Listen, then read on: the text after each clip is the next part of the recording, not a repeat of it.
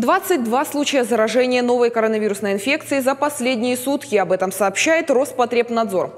Всего зараженных COVID-19 в республике 4028 человек.